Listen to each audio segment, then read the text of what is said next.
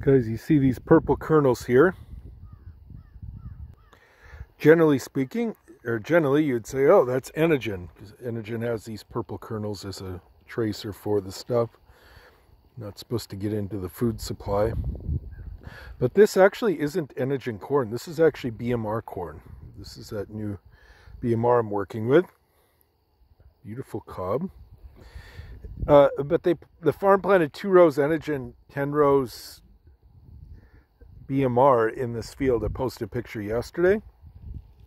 And what we're seeing here is the Xenia effect. And the, that, uh, that effect is basically uh, it cross pollinates. Now, they're hybrids, so it doesn't affect the plant, but it affects the grain. And uh, so, anyway, uh, it's kind of a fascinating thing. And there's some real potential here that can be used.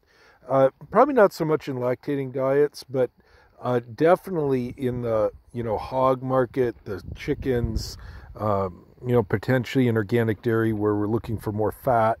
Um, using high oil corn in a sidekick program at a at a low percentage, like well, like you said, the two and ten, that's probably about right.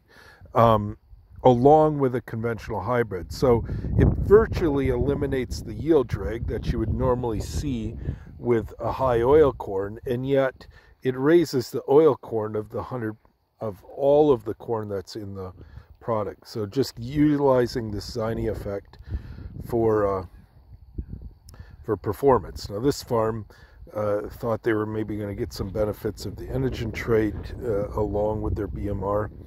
You know that's a whole nother uh, whole nother discussion. You kind of, but um, this is just kind of a fascinating example of that Xenia effect. So talk later, guys.